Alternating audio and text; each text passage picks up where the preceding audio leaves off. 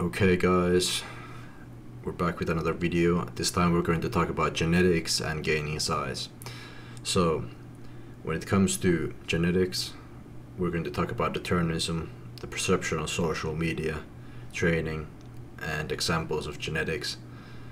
And I wanted to touch on the topics of different videos about size and so on, because I think it's very well related to this topic, and I feel like it's a little bit lacking or there's a lot some people make these videos about gaining size and I think I need to give a little rant take on it a little bit but I'm not gonna be too harsh.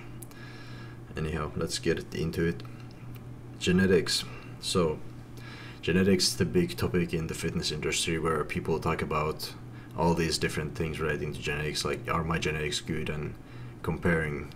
to everybody else and nobody really wants to talk about their own genetics if they're good or bad. They just want to credit everything to their own work of course and you know i would say to relate this to myself as an example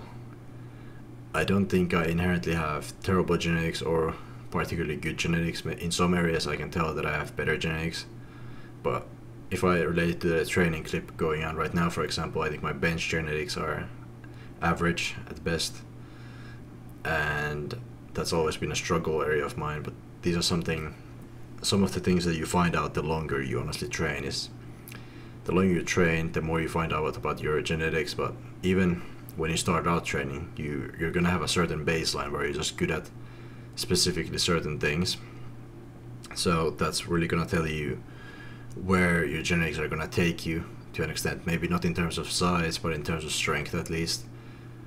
For example let's just say you start at 140 kilogram deadlift as your one rep max deadlift when you start out training that would be a pretty good indicator of uh, having good genetics and you could have high other lifts as well while you're at it. Now with genetic determinism there's a lot of people that might predetermine that they're gonna look a certain way or get a certain amount of strength and they have a limit. This is something that has been going on quite a lot in the natural community talking about limits and breaking limits and I think that's positive to encourage and that's something I apply in my own training is I don't believe inherently in any kind of a limit. Of course you can be realistic with um, progress and achieving certain things but I think when it comes to overall determinism I don't think you can really determine where you're going to be able to take yourself because you, at the end of the day the sport is where you spend the rest of your life training if you don't, then I don't understand why you would lift honestly, because that's the whole point. It's for life, and that's where determinism kind of doesn't matter because at the end of the day, you're still always going to have a certain amount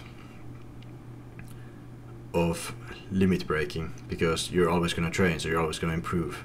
till you get to that point where you're so old that you're probably going to start losing strength and size over time and that's the natural way unless you start taking something when you're older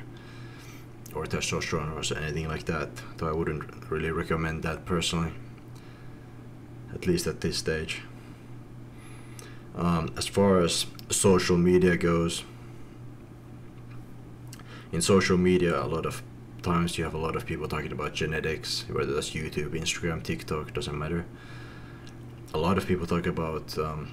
people having great genetics and whatever but the thing about social media is you have to remember that social media is not inherently real. And a lot of the things you see on social media are a lot of times fake as in like the social media it's easy to fake on instagram you know perfect lighting perfect angle you know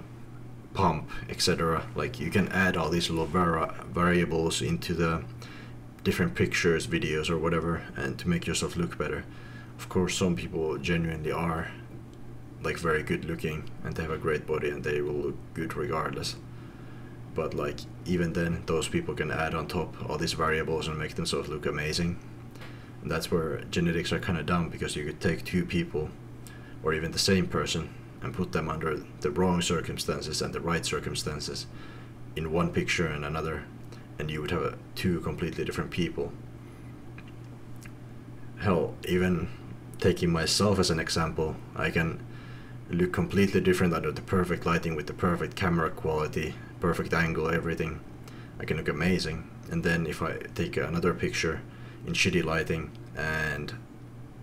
I don't care about anything like that, and I don't edit the picture or anything like that, it will I will probably look drastically different if the angle is not perfect, etc. So it just like it just goes to show you that there's really no point worrying about such things.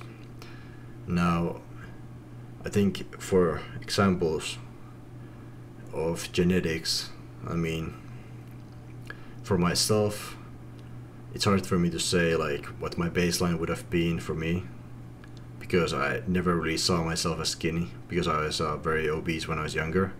So if I compare myself to that obese self and now, of course, there's a massive difference, but it's hard to say where I would be if I was skinny, if I had just been a skinny kid my entire life.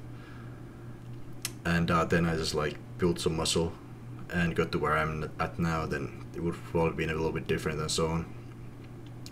So it's a bit interesting in that regard. Um, and as far as examples go otherwise, I can probably pop up on some screen uh, maybe some video or pictures of people and their transformations and maybe some examples as well of social media, perfect lighting and non-perfect lighting. A lot of, um, especially people who use PEDs and post on Instagram, so a lot of people do this like uh, fakeness on social media where they edit their pictures and everything. And then other people get dis- body dysmorphia and they think that that's like their goal body when they look at a picture of a guy who's like perfect everything in that specific picture, but it doesn't most of the time. They don't look like that. Or if they, if you look at uh, fitness influencers, social media pictures versus their actual videos on YouTube, they look drastically different because they on the videos they can't really fake their size, so they're gonna look drastically smaller and different because they're not under the perfect circumstance compared to a picture. So that's why it's very toxic to compare yourself to that. Now to switch on the topic, we're gonna talk about videos on size and gaining size. So, for the different muscle groups, there's a bunch of videos that people make on gaining size, which are fine, you know. I don't have a problem with that inherently. Like, if you want to share your favorite exercises, go ahead and do that. What I personally have a problem with is when people make these type of gaining size videos, like uh, top five, whatever, to gain size on this specific X part and it's like some weird ass exercise. That's what I have a problem with. Or they're not actually like tested methods of training or anything like that and they just provide like some weird ass exercise that nobody has ever heard about. That's what I really have a problem with. As well as when it comes to the different muscle groups, a lot of people do these videos where they do like uh, how I grew my chest and you know this is fine you know if they just want to share their own experience but if they're trying to actually teach people how to grow like their chest for example and they're like using themselves as an example let's say they have really good genetics and they have a naturally big chest and uh, the thing about that is you know it's fine to share your own ex- experience and everything but if you're fairly naturally gifted in a certain muscle group and then you're teaching other people about gaining size on it, that's fine. If you actually share some good exercises that are generally good, and there's nothing wrong with that.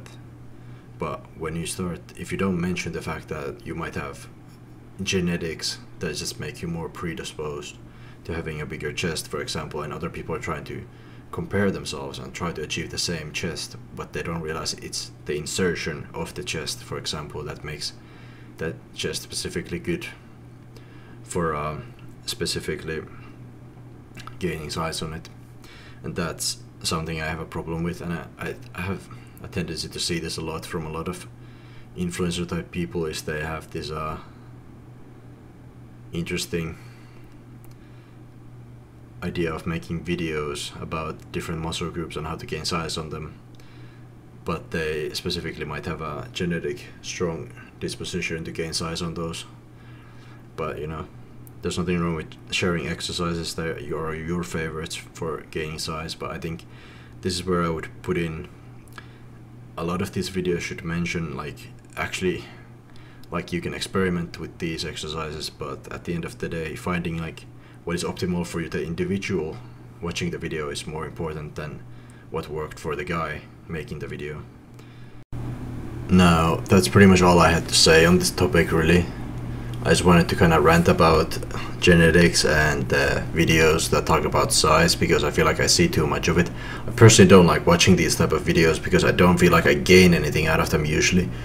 I more I gain more out of videos that talk about exercises specifically and not how I grew my chest or something like this because it's just it's kind of pointless in my opinion because